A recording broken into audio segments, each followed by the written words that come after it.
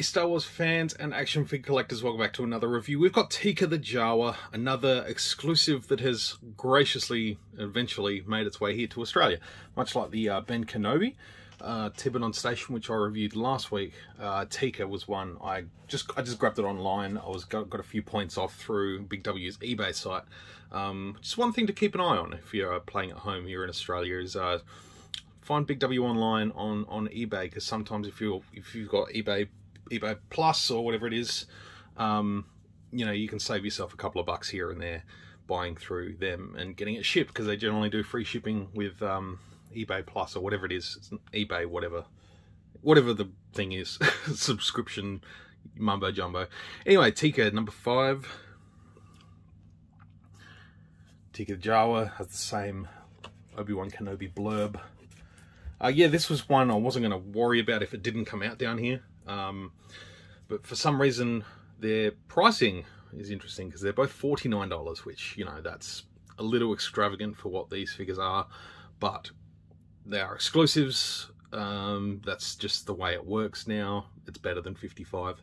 Um, for some reason, they put the Ben Kenobi down to 28 and they put this one down to 39. So who knows? You feel like the uh, this one would be more price accurate at 28, but nevertheless, we've got him anyway. So uh, yeah, I'm going to open up Teeka. We'll get a look at the figure. Uh, it doesn't appear to be too much different from a regular Jawa, so we'll get a look. All right, here we have Teeka the Jawa. And yeah, for the most part, this figure is exactly the same as the Jawa that's been out for a few times now. Um, obviously, the off-world Jawa came with soft goods um, around here whereas the original New Hope Jawa came with this uh, molded plastic. Difference is this one comes with this sort of vest, um, overcoat, as opposed to, you know, just the, the sort of, uh, you know, utility belts that the normal Jawas have. So Teeka, you know, just sort of stands out a little bit with the extra, um, with that sort of light tan sort of vest. Also coming with Teeka is a couple of accessories, and it's, uh, yeah, I don't know what to make of these, but they're kind of cool pieces, bit of Jawa junk. Not sure what it's supposed to be. Probably doesn't really matter what it's supposed to be either. But, you know, I, li I like little things like this, just to sort of flesh out scenes and, you know, looks a little bit deeper on the shelf with some with some stuff around it. And uh, this little thing here, which, you know, again,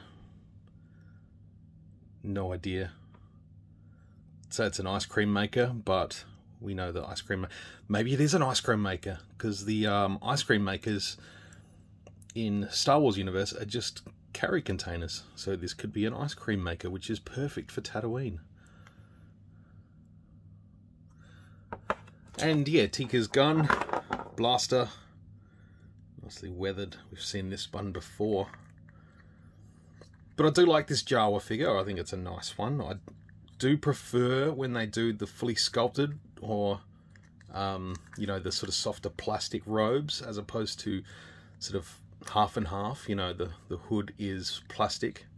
Um, so yeah, I do prefer this. I, I like the soft goods when they do it all soft goods. I think that would be better better. But um, you know Hasbro can't quite get the hoods to sit up as they are with the Jedi figures. So yeah it's probably just easier to stick with this for the Jawas yeah, it's cool. Nice little eccentric little character they brought in for Obi-Wan Kenobi. Local bartering Jawa. He steals from steals from Obi-Wan and then tries to sell it back to him. I like the details. I like that just that little silver thing up there. I'm not sure what that is, but um, it's cool. Some nice, yeah, just nice details, nicely sculpted, nicely painted too. I like the sort of dirtiness at the end of the sleeves. Um, some sort of different shades of stuff around the around the base a little bit.